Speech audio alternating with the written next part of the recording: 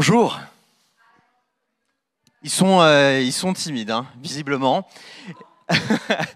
Et donc aujourd'hui, on, on a décidé de faire quelque chose d'un petit peu différent, puisqu'on va avoir euh, une, autre, euh, une autre conférence avec, avec Philippe. Il me semble que c'est demain d'ailleurs. C'est demain, oui. Et on va, on va étudier un peu plus la construction, la construction d'un personnage à travers, à travers la voix et à travers plein d'autres choses. Et on s'est dit tous les deux bah, que ça pouvait être sympa, bah, tout simplement, d'interagir avec vous. Donc en quelque sorte, toutes les questions que vous pouvez vous poser sur les différents rôles de Philippe, de toute façon tu vas te présenter un petit peu aussi tout de même. Euh, je vais te faire travailler un petit peu au final. Grand plaisir, oui. Et puis après, toutes les questions que vous voudrez lui poser, sauf le numéro de sa carte bleue, j'ai pas réussi à l'avoir, eh ben écoutez, vous pourrez lui poser. Il n'y a pas de souci à ce niveau-là. C'est parti Eh bien, je suis ravi d'être là. Euh, c'est un grand plaisir de partager ces moments-là avec vous. Euh, voilà, je suis comédien depuis 92 et j'ai commencé le doublage en 93 par le plus grand des hasards, comme euh, les choses font bien, arrivent bien comme ça dans la vie. Et puis progressivement, je suis passé de rôle en rôle et on m'a confié des personnages de plus en plus intéressants et de plus en plus riches. Voilà. Est-ce que oui, tu, tu as parlé du projet de table ronde qu'on a euh, demain. Est-ce que euh, moi, ce qui m'intéresserait, c'est d'avoir une interaction avec vous sur le. euh, euh, Est-ce qu'il y a des graphistes parmi vous qui travaillent sur euh, sur des projets? Est-ce que vous avez euh, des travaux d'écriture en cours Qu'on puisse euh, profiter de, cet échange pour euh, aborder non pas que le personnage, mais le personnage au sein d'une œuvre, qu'on voit un petit peu euh, comment la voix peut être utile à, l'élaboration d'un personnage. Même, je vois les, gens qui délirent en cosplay, c'est absolument dingue. Comment votre voix peut, euh, peut vous servir à, à- rentrer plus profondément dans un personnage. Voilà.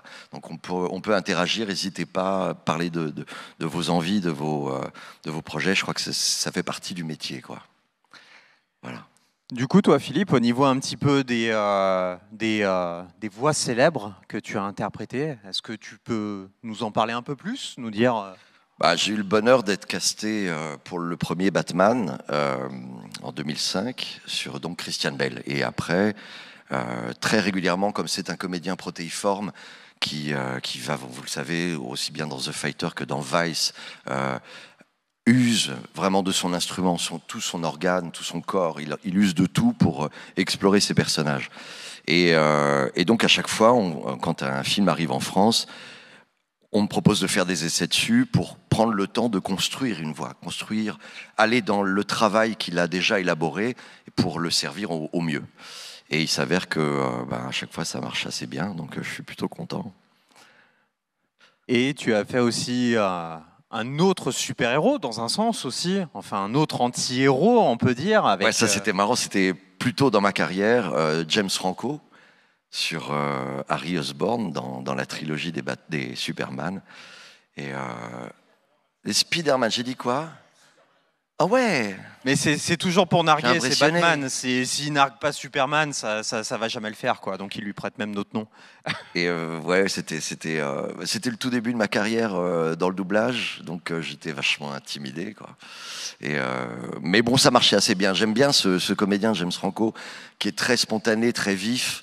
Euh, J'ai eu le bonheur de le doubler après dans d'autres films, et euh, où là la performance d'acteur était vraiment euh, à son paroxysme, comme par exemple 127 heures. Vous, l'avez vu, il y en a beaucoup qui l'ont vu? Ouais. Pendant 1h20, il est face caméra dans une grotte.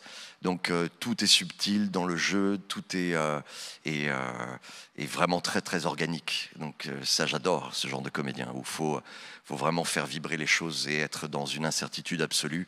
Et quand le rouge euh, s'allume, la, salle, l'auditorium s'éteint, faut se jeter et arrive la vie, arrive quelque chose qui est totalement inattendu. Bien sûr, dans les contraintes techniques du doublage, qui sont les labiales, la respiration de l'acteur original. Donc, faut rentrer dans ces contraintes techniques-là, mais tout en se laissant vivre. Et, euh, ça crée des accidents de vie, des, comme dans la vie, quoi. Des accidents de phrases, de paroles, et ça crée une, une, une authenticité, quelque chose qui est, qui est, euh, qui est vraiment sensible. On, on l'entend, quoi. Et ça, j'adore euh, travailler sur des comédiens comme ce gars-là parce qu'ils sont pas monolithiques, il n'y a, rien de, de, de stable. Et ça, c'est c'est vraiment kiffant. Pour se rafraîchir la mémoire, je vais te proposer de lancer un petit extrait de Spider-Man 2 Oh là. avec une scène qui est bien particulière au final. C'est une scène de révélation. J'aimerais pouvoir te faire souffrir autant que tu m'as fait souffrir. Quand l'image. Voyons d'abord qui se cache derrière le masque. Que je te regarde dans les yeux quand tu mourras. Peter. Non. Impossible. Donc là, du coup, alors c'était un de tes premiers rôles au final, euh, Philippe? C'était euh, une une des premières fois où on me, me confiait un rôle euh, un peu solide. J'avais le premier, c'était un film assez marrant. Les petites vues, euh, c'était Tarzan et la cité perdue avec euh, Casper Van Dien. Et c'était vraiment autre chose, quoi. Euh, mais voilà, c'est ce qui est hyper excitant dans notre métier, c'est que euh, un directeur artistique reçoit un film, il vous propose sur la distribution euh, en sentant qu'il va se passer un truc. Euh, et des fois, ça se passe bien, des fois, ça se passe un peu moins bien. Bon, voilà. Et euh, donc voilà, je suis arrivé sur James Franco, euh, euh, mais ses, ses performances sont, sont rien par rapport à ce qu'il fait après dans, dans, dans des films comme 127 heures ou, ou Date Night. Je ne sais pas si vous avez vu Date Night. Il a un rôle complètement barré. Il est avec sa copine et il doit fuir. Enfin, c'est assez drôle. Un comédien d'instinct, quoi. Et j'adore ce genre de mec où où faut y aller, quoi. C'est là où, euh, où il va se passer quelque chose de, vrai. Du coup, comme je vous l'ai dit, on va passer sur un format table ronde et on va bah, démarrer par des questions, si vous le voulez bien. Donc, si vous avez des questions dans la salle, bah, écoutez, vous me faites un petit signe et puis on va vous faire passer euh, un petit micro. Personne n'a de questions Ouais Allez, c'est parti. Moi, je vais faire le feignant, je vais m'asseoir.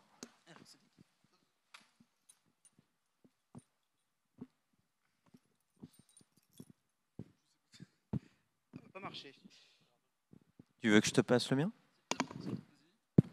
Ça marche. Bonjour. Bonjour. Bonjour. Euh, je vais poser une question un peu globale sur vous surtout. Euh, je suis les, les streams VF depuis un moment et euh, vous avez pu participer à un stream VF où vous étiez avec d'autres comédiens de doublage qui a aussi doublé Batman. Je voulais savoir euh, qu'est-ce que ça fait d'avoir justement cette occasion de, de se poser, d'avoir un moment où vous pouvez discuter avec euh, d'autres comédiens de doublage qui ont aussi vécu la même chose que vous, qui est doublé Batman. Qu'est-ce que c'est d'avoir un moment comme ça pour partager ça? Tu parles d'un streaming euh, avec euh, Boris Rélinger et Thomas Roditi sur justement le personnage de Batman, qui, qui ont tous les deux, euh, on a tous les trois doublé les Batman différents les uns après les autres. Et euh, bah, c'est, ce, qui est, un pur bonheur, c'est qu'on nous confie des personnages comme ça qui sont, euh, qui sont des, des, vraies opportunités de jouer, de travailler notre instrument et d'être dans, dans une interprétation. Euh, moi, j'ai la chance d'avoir euh, doublé un personnage qui a été construit par la, rencontre entre Christian Bell et Christopher Nolan. Ils ont vraiment construit un truc ensemble, quelque chose d'authentique et de, vraiment fouillé. Donc euh, moi je suis rentré dans des chaussons qui étaient déjà hyper bien ficelés et ça a été, euh, vraiment euh, un, pur bonheur. On a eu tout le moment pendant le casting, ce qui était très compliqué, c'était de trouver cette voix. Vous le savez, malheureusement, à cause du piratage, on a des contraintes de travail qui sont assez, assez complexes. On va pas dire compliquées, mais complexes. C'est-à-dire que on a la moitié des images, ou on a un certain nombre d'images, on a des séquences, on n'a pas toute la séquence complète.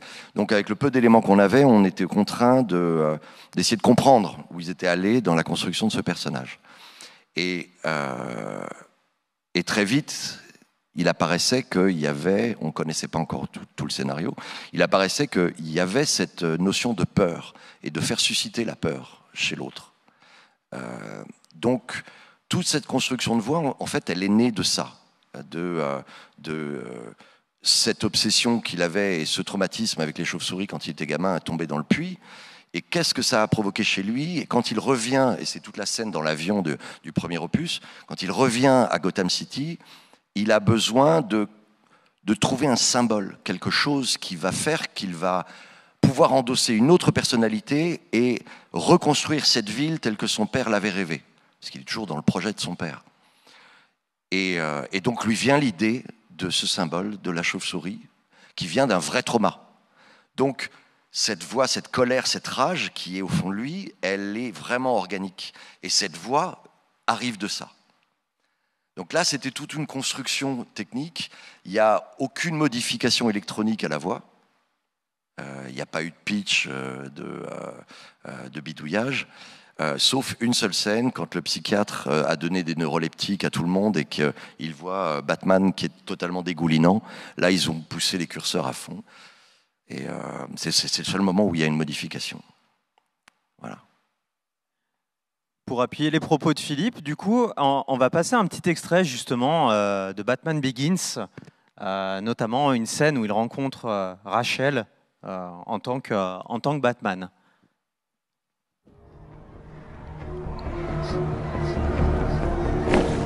Attendez Vous risquez votre vie.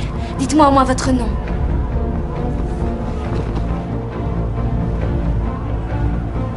Je sois au fond de moi, je ne suis jugé que par mes actes. Bruce?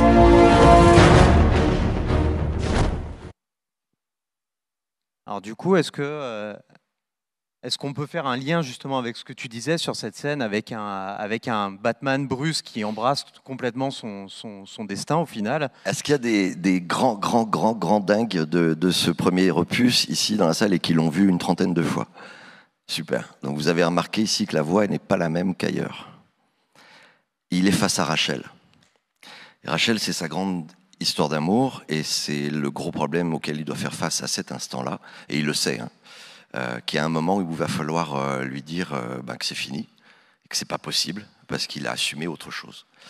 Et là, donc, il est mezzo entre les deux, il n'y arrive pas, il n'arrive pas à cacher. C'est pour ça qu'elle dit, Bruce, elle, croit, elle, commence à piger que ça pourrait être lui.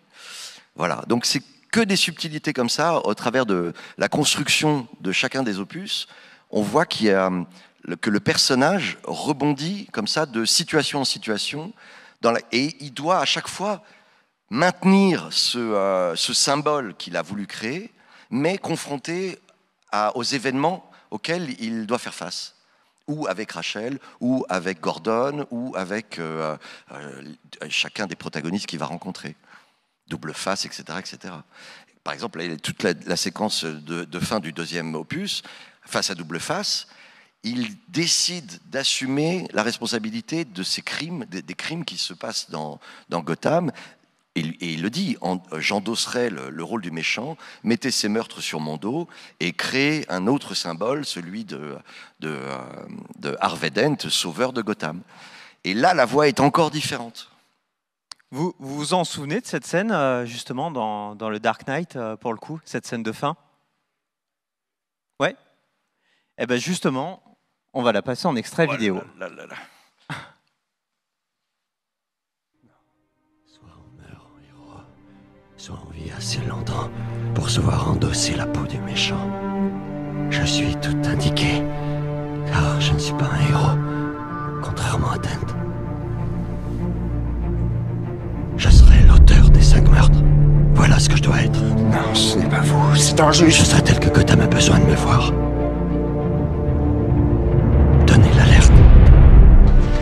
Te traqueront. C'est vous qui me traquerez. Vous me condamnerez. Vous m'enverrez vos chiens. Parce que c'est une nécessité. Parce qu'il arrive que la vérité ne suffise pas. Il arrive que les citoyens méritent mieux. Les citoyens méritent récompense leur loyauté. Moi, c'est un, moment qui est, absolument génial. C'est, ce qui a fait établir pour moi le, film au rang de chef-d'œuvre. En fait, tout fonctionne dans ce film. Vraiment, c'est, euh, absolument incroyable. Je ne sais pas ce que vous en pensez dans le public.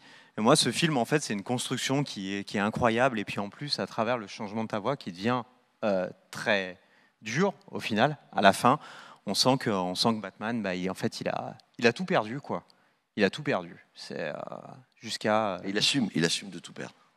Et, pourquoi j'évoquais euh, ces, éléments-là, c'est parce que rien n'est figé dans un personnage. Et ça, c'est vachement important. Comme quand vous écrivez euh, euh, quelque chose, rien n'est vraiment figé. Vous savez pas où ça va aller. Et euh, il faut laisser toujours cette incertitude, jamais aller dans des choses, des blocs monolithiques, des choses vraiment assumées, vraiment établies. Non, parce que la vie n'est jamais comme ça. On a une direction, mais il y a toujours un certain nombre euh, d'interactions avec la vie qui font que euh, ça ne va jamais où vous voulez que ça aille. Et donc la création d'un personnage, c'est ça. C'est il y a une intention de base, mais la vie fait que c'est jamais vraiment certain, c'est jamais stable. Et euh, si- s'il y a des gens qui écrivent, euh, ils le savent ça parce que euh, c'est Léonard de Vinci qui écrit ça. Il dit un artiste ne sait jamais tant qu'il n'a pas fait. Et tu, tu sais pas où ça va aller. Et tu tiens la plume et ça avance, ça construit, tu construis, et tu sais pas où ça va aller. Tant que tu l'as pas fait, tu sais pas où ça va.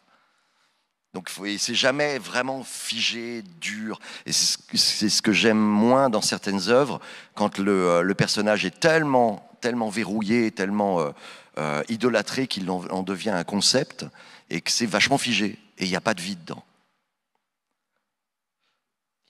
Est-ce qu'il y a une autre question dans le public? Oui?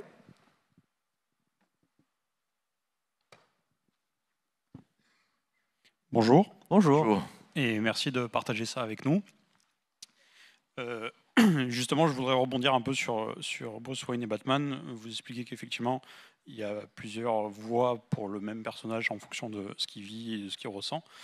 Est-ce que vous avez vraiment un, range de voix euh, euh, assez grand? Est-ce que vous avez plusieurs voix? Est-ce que vous travaillez plusieurs voix? Et comment vous, vous pouvez travailler ça éventuellement? Mon instrument, ça fait 30 ans que je le travaille, je le maîtrise plutôt pas trop mal. Et mon, mon boulot, c'est de rentrer dans la création d'un autre artiste-interprète, en doublage. Au théâtre, c'est encore autre chose. Euh, en chant, c'est encore autre chose. En comédie musicale, c'est encore autre chose. Mais là, pour le doublage, je dois rentrer dans quelque chose qui se passe là, devant mes yeux.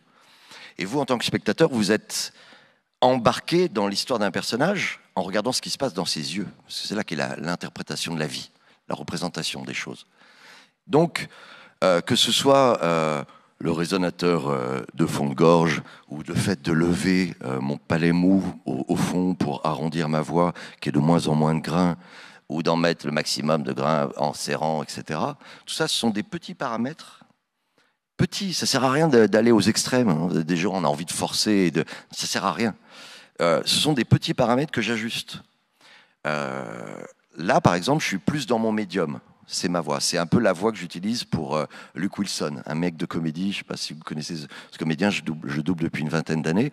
C'est un mec de comédie, il a une voix super légère comme ça, et, c'est sa dynamique. Parce que quand je suis dans la salle de cinéma, dans l'auditorium, je rentre dans cette dynamique-là. Donc tous ces paramètres techniques, je les maîtrise, et intuitivement, je me laisse porter vers ça. Et j'ai toujours un directeur artistique qui me dira euh, regarde bien, là, il faut aller plutôt dans cette direction, plutôt dans celle-là. Et euh, c'est une euh, collaboration. Moi, je suis dedans, lui, il est extérieur, et je laisse me piloter. Mais et tous ces paramètres, j'y vais subtilement. Ça sert à rien de forcer sur un gros truc, parce que tu tombes dans un cliché. L'idée, c'est toujours de laisser la possibilité à l'imprévu du moment d'apparaître. Des, erreurs, ce que tu pourrais qualifier comme une fragilité, un truc euh, pas maîtrisé. S'en fout, ça, donne la vie. C'est la vie. Parce que tu l'as vécu ce moment-là. Et donc, hop, il, arrive un petit truc qui n'est pas, pas hollywoodien. Tu vois? Et c'est ça qu'on cherche. C'est là que ça, donne le truc. Donc, j'ai pas, pas, pour répondre à ta question plus précisément, j'ai pas euh, un catalogue de voix.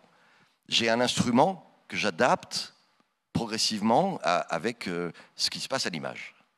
C'est c'est ça mon métier. D'accord, merci. Surpris. Est-ce qu'il y a une autre question dans le public? Oui, jeune homme. Ou je vois pas très bien de là. Juste là. Je porte pas des lunettes pour rien du coup.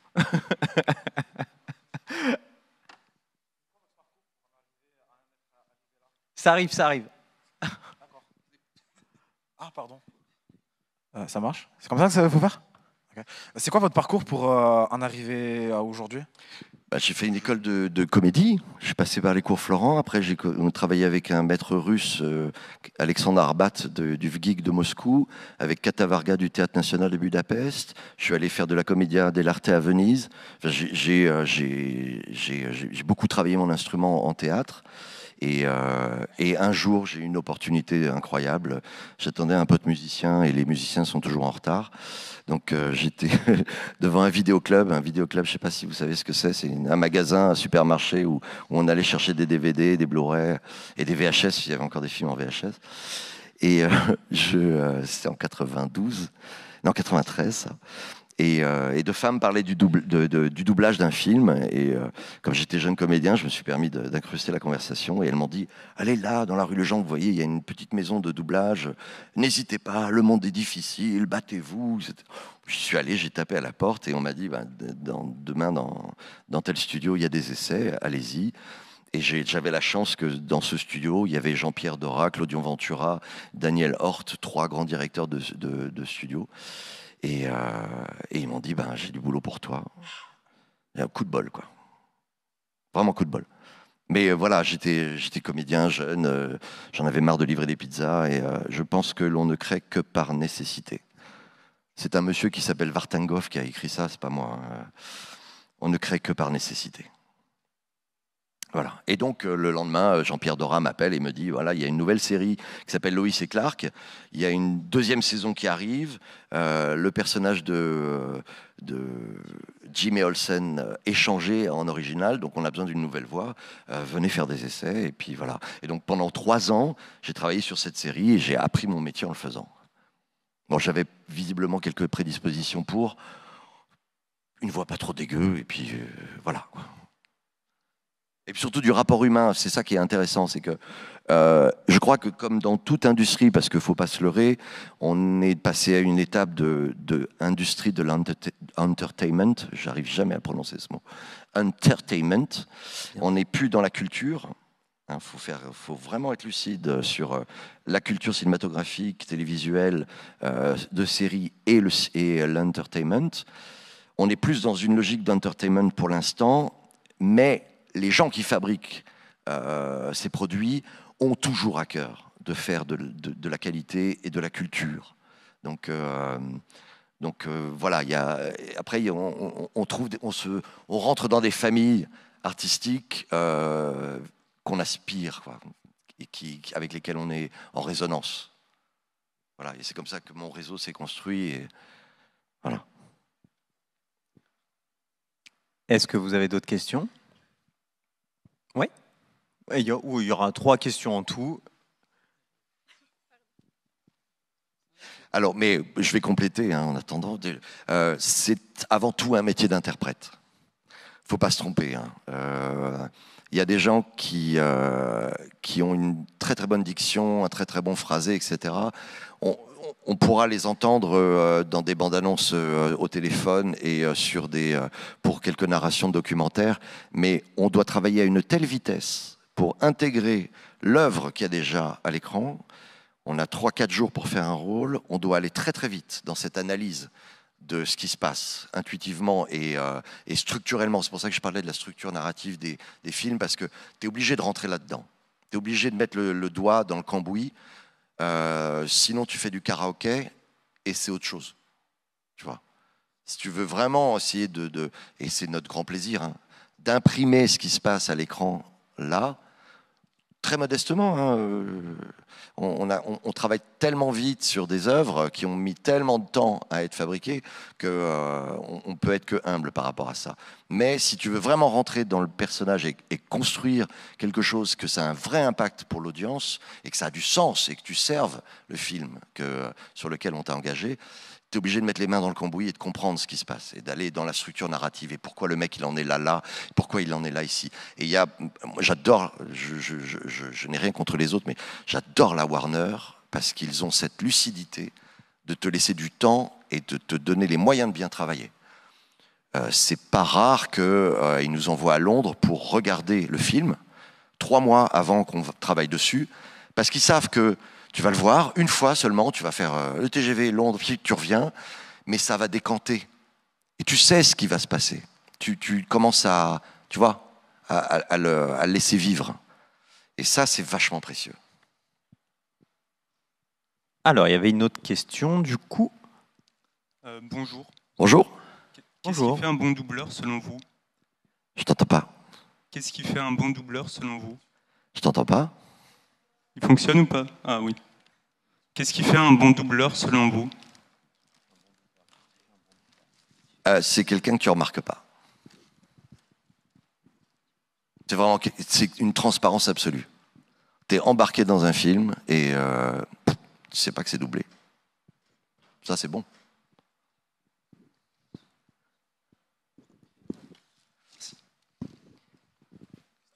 Il y avait une question ici. Ouais. Euh, juste à côté de toi, et après on passera en haut. Bonjour. Bonjour. J'aurais aimé savoir quel est, vous, de votre côté, le... ce que vous avez pu réaliser en général. Quel a été le plus compliqué à faire? En prenant toutes vos réalisations, hein, pas uniquement sur un seul thème ou sur une seule réalisation. Le plus difficile, c'est quand, euh, en fait, tu arrives dans un. Il y, en a une, j'en ai déjà. J'y pense tout le temps à celle-là. Alors, c'est pas la plus compliquée, mais c'est la plus choquante pour moi. C'est une dame, euh, pour les grands cinéphiles, euh, si vous allez jusqu'au bout des films des années 70, 80, 90, vous verrez qu'il y a une très grande dame du doublage qui s'appelait Madame Jenny Gérard, qui était directrice d'une société qui s'appelait l'Européenne de doublage, qui a réalisé une œuvre magistrale en tant que directeur artistique. Le directeur artistique qui va assumer le casting, qui va diriger les comédiens pendant le doublage. C'est elle qui a eu l'idée d'avoir de mettre Patrick Poivet sur euh, la, voix de Bruce Willis, Richard Darbois. euh, enfin, elle a casté des gens, c'est extraordinaire. Elle a vraiment lancé des, euh, elle sentait des trucs quoi. Et euh, on se connaissait pas. Et j'avais travaillé avec Michel Gast, un ami très proche d'elle, sur euh, Gladiateur. Et j'avais fait, euh, c'était, euh, je le connaissais pas, je les connaissais pas encore dans cette société. Et donc, Michel Gass m'avait convoqué pour faire ce qu'on appelle des ambiances, des petits rôles. Et, donc, j'arrive dans un auditorium avec que des cadors, des mecs qui avaient 20 ans de métier, des grosses voix énormes, et on faisait des, légionnaires romains. Et à un moment, donc, comme d'habitude, la scène démarre, hein, on entend les types hurler, il y a un, type qui arrive devant une grille, qui tape à la grille, Glavius, Glavius, et ça dure euh, trois minutes, il hurle. Et l'auditorium se rallume, et Michel dit, euh, Michel Gass, le directeur artistique, bon, qui y va? Et là, il y avait toutes les grosses voix du métier qui étaient là dans le fond de leur fauteuil. Bon, et, moi, je dis, bon, j'y vais. Et j'avais quoi? J'avais 25, 26 ans, quoi. J'avais pas une voix euh, que j'ai maintenant, et pas, j'avais pas cette maîtrise de l'instrument comme, comme maintenant. Et il me regarde, il fait, allez-y, jeune homme. Et je me mets à hurler et je donne tout, vraiment une rage. Et Glavieux, sors de là. Et ça dure, ça dure, ça dure. Et je me dis, putain, pourvu qu'il n'y ait qu'une prise, quoi. Et à la fin, on écoute. Et Michel me dit, euh, jeune homme signé, vous avez fini votre journée. Et il était 11 heures. Génial, quoi. Et donc, il file mes coordonnées à, à Jenny Gérard, son ami. Et Jenny m'appelle et me dit euh, Bonjour monsieur, on m'a on m'a donné vos coordonnées. J'ai un rôle un peu singulier et j'aimerais vous mettre dessus. Rendez-vous telle heure dans tel studio. Et elle raccroche. Tu sais pas l'œuvre, tu sais pas le truc. Bon, bah, tu vas hein, modestement, tu dis Bon, ça va être une petite panouille, etc. Et je me retrouve dans un auditorium avec Jenny Gérard et le film s'appelle 40 roues, c'est un film brésilien. Le, souci, c'est qu'il y a une version courte et une version longue. Et, euh, et la version courte, malheureusement, il y a une toute petite séquence de cette scène. Et bon, bref, je m'assois dans l'auditorium et puis on regarde la scène et c'est l'histoire d'une révolte de, prisonniers brésiliens dans cette euh, prison. Et euh, donc c'est un carnage, il y a des morts partout, ils mettent le feu à la prison, etc. Puis arrive la police, puis arrivent les services sociaux, et là, les services sociaux interrogent les prisonniers les uns après les autres, et ce, ce gars que je doublais était un travesti, homo, qui raconte pendant dix minutes en larmes comment c'est le cauchemar pour lui depuis des mois, qu'il se fait sodomiser par tout le monde, qu'il est vraiment une lavette, que c'est l'horreur absolue. Et là, je vois ce truc et, et j'entends la voix de Jenny Gérard. Alors, Philippe Valmont, j'ai pensé à vous pour cette scène. Tu fais, what, la nana, elle me connaît pas, elle me voit là-dessus, et le truc, le mec, il est en larmes, ici, il au- à la fin de sa vie. Et là, tu une espèce de falaise, tu vois, c'est Étretat. Et tu dis, bon ben, on y va, quoi. Et tu te jettes. Et tu n'as pas, t'as pas le choix, quoi. Et là, ça part en live. Et elle enregistre une scène. Pas trop ce qui s'est passé, tu vois. J'étais en train de vivre un truc euh, dans un désespoir absolu. Et, euh, et bon, on a, on a fait qu'une prise, quoi. Elle m'a dit, c'est parfait. Et c'est elle qui m'a casté sur, euh, sur Christian Bell. Voilà. Donc je, lui dois ça et, tant de beaux moments de création. Donc voilà, ce genre de moment, c'est vraiment marquant dans une carrière parce que c'est des moments où toi-même, tu t'amuses à, à, péter ta limite. Quoi. Tu sais que euh, là, tu n'y es jamais allé, bon, bah faut que tu y ailles. Quoi. Et puis tu sais pas ce qui va se passer. Et c'est ça qui est beau. C'est que euh, ce qu'on aime sont des, des accidents de vie en tant que spectateur. Ce qu'on aime, c'est être heurté par une, une interaction. Euh, et, donc, il faut provoquer ça chez toi. Il faut te mettre dans cet état de fragilité où il va se passer un truc euh, complètement inattendu, mais vrai. Donc, euh, voilà, tu le livres comme ça et il se passe ça. Et c'est ça qui est enregistré. Et après, il y a toute la magie du mixage, du montage. Des fois, tu vois, tu as, as, pleuré tu un peu plus loin que lui, c'est pas grave, il va te recaler, il va faire en sorte que ce soit vivant et vrai. Et euh, voilà, mais il va profiter de cette matière que tu, que tu lui as donnée. Voilà. Euh, D'autres moments, euh, alors il y a une scène là sur, pour ceux qui connaissent bien les trois, les trois modules de, de, de la trilogie, la troisième, euh, la première scène où euh, Catwoman est venue voler le, collier de perles dans le, coffre-fort, ce que joue Christian Bell là-dedans est fascinant. Si vous êtes grand, grand fan de son travail, je vous conseille de la revoir quand il arrive lentement avec sa canne et qui jette un œil au coffre-fort, il a tout pigé. Il voit le, collier de, sa mère au cou de cette femme. Il s'avance doucement, il laisse sa canne. Il sait que la nana, si elle lui a volé le, collier, elle peut le foutre par terre parce qu'il n'est pas en état de se battre, mais il laisse tout faire. Et il avance et il construit sa scène. Et vraiment, je vous, conseille de la regarder. C'est d'une subtilité de jeu. C'est un kiff absolu. Voilà, ce genre de scène, quand elle arrive, tu fais putain, faut que je sois dedans, quoi. Voilà. Ok, Ça, merci. Merci beaucoup. Je t'en prie. On avait le jeune homme tout en haut, s'il te plaît. Super, merci. Euh, moi, je voulais savoir euh, un peu plus en, en détail, si possible, euh, par exemple, votre journée de travail, euh, en détail, comment ça se passe quand vous arrivez au studio, par exemple?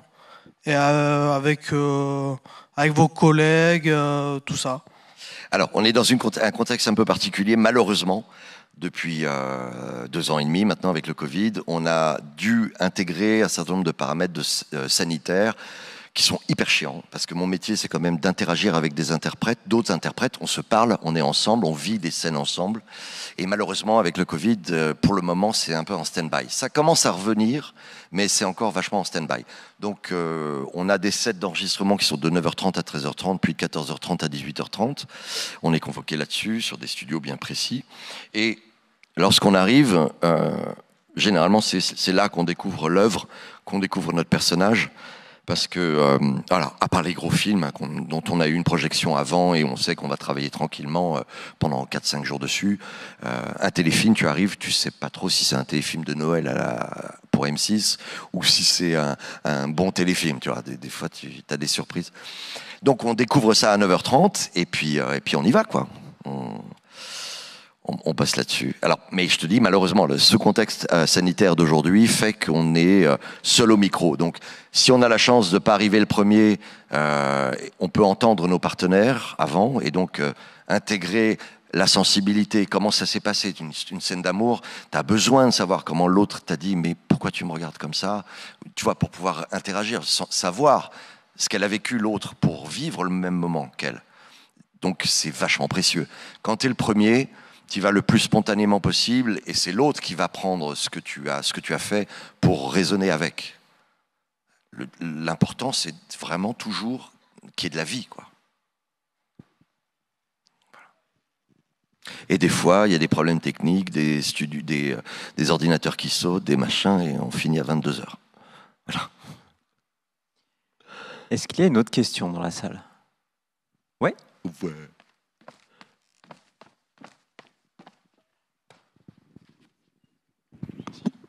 Rebonjour. Re. Je suis désolé, hein, j'ai plein de questions s'il faut. N'hésite pas. Euh, je vais rebondir un peu sur, sur un truc que vous avez dit tout à l'heure, euh, notamment sur le fait qu'il y a, en tant que comédien de doublage, il y a aussi cette surcouche où on doit s'adapter euh, au jeu du comédien qu'on double, euh, où on doit s'adapter à ses respirations, à ses mimiques et tout ce genre de trucs. Est-ce que euh, la différence entre être comédien, on va dire, classique et comédien de doublage, euh, cette différence-là se, res- se ressent en tant que contrainte ou c'est vraiment un autre jeu à faire euh,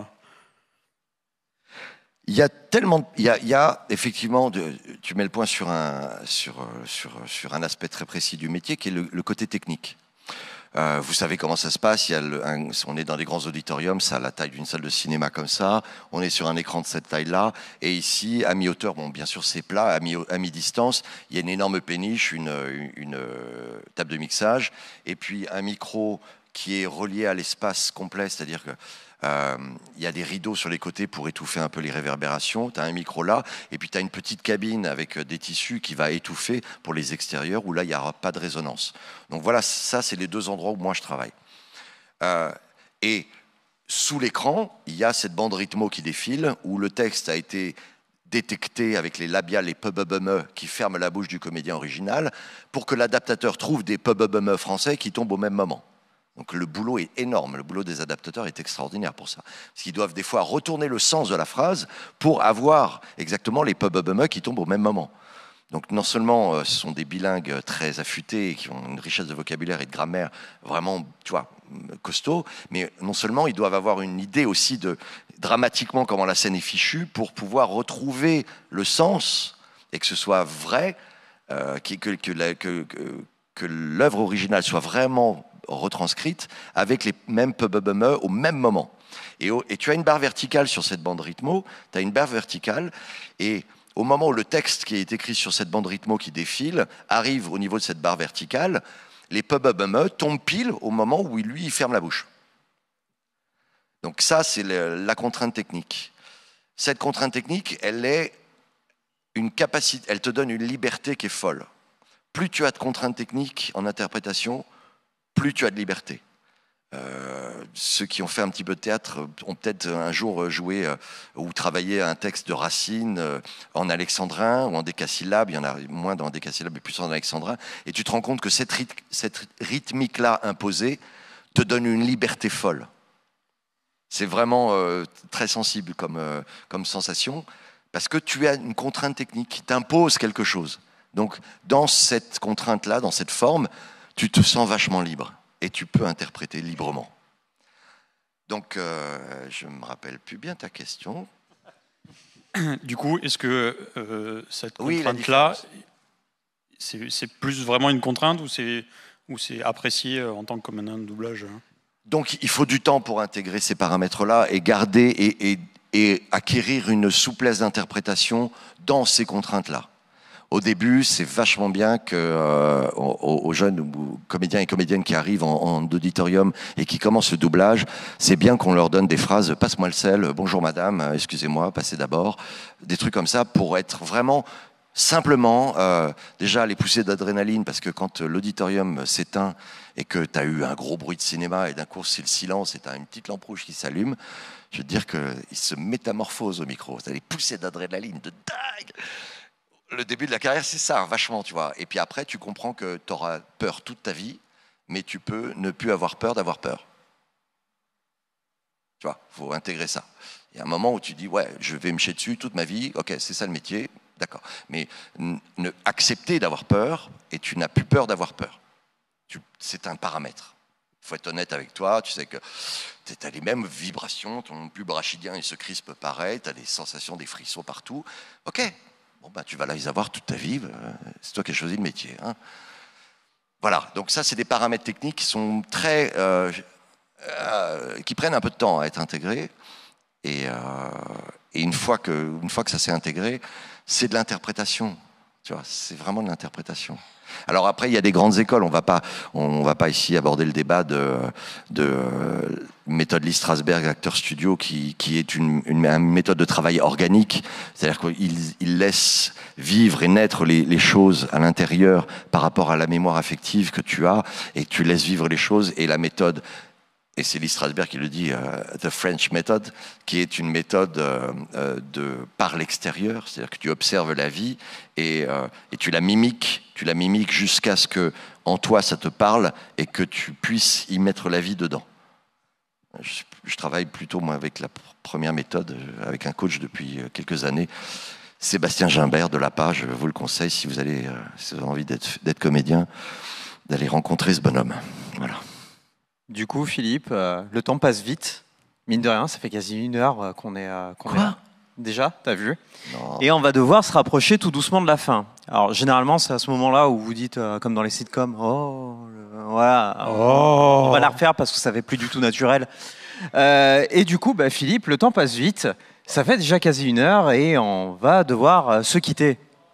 Oh Merci. Moi aussi, je suis très déçu. Mais du coup, on pourra remettre ça euh, demain, d'ailleurs, avec une conférence qui va être un petit peu plus, euh, un peu plus différente. D'ailleurs, on va s'intéresser un peu plus euh, aux différents aspects du métier.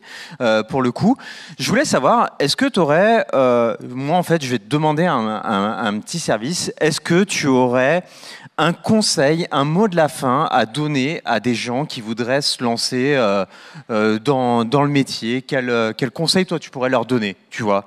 Pour, pour bien démarrer, pour pour pas se faire d'illusions non plus ou quelque chose comme ça. Ouais. Euh, J'aimerais parler d'une chose, parce qu'on est tous ici euh, dans cette convention parce qu'on adore les histoires. Ça nous fait vibrer, on, on kiffe les histoires. Et euh, Aristophane, il a écrit un truc assez marrant il y a 2300 ans. C'est euh, dans la vie, il y a les événements et puis les émotions. Et ce qu'on aime, et ce qu'on cherche, ce qu'on espère, c'est d'avoir l'événement, donc le sens de l'événement, et l'émotion en même temps. Et c'est pour ça qu'on va voir le compteur, pour avoir l'émotion et le sens en même temps, ce qu'on n'a jamais dans la vie. Donc euh, que vous soyez scénariste, graphiste, euh, que vous fassiez de l'animation, euh, de la voix, du, du podcast, votre public, il attend ça. Un événement et l'émotion au même moment. Parce qu'en tant que public, c'est ce que vous adorez au cinéma. Que ça arrive au même instant. Donc euh, je pense que c'est de garder ça à l'esprit, c'est euh, ça vous oblige à aller voir techniquement comment ça se passe pour faire ça. Et euh, l'art est l'expression d'une technique. C'est pas que de l'intuition. Il faut vraiment aller bosser son instrument, bosser sa technique pour être disponible à, laisser euh, émerger les choses et émerger la vie. Donc, quel que soit votre instrument, il y a, une gourmandise à avoir là-dessus, sur euh, l'aspect technique de votre travail. Moi, j'adore ça, hein, personnellement. Euh, voilà.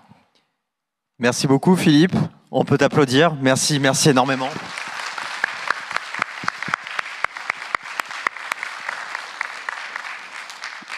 Cette euh, table ronde du coup touche à sa fin. Je vous remercie d'y avoir euh, participé. Je vous remercie d'avoir accueilli ici chaleureusement euh, Philippe. Demain, donc comme je vous le disais, on va avoir donc une conférence qui va être un peu plus particulière avec un aspect plus technique justement du métier. Et puis écoutez, bah, nous profitez bien du reste du salon parce que c'est un très beau salon. Et puis faites-vous plaisir. Vous êtes absolument géniaux. Merci beaucoup.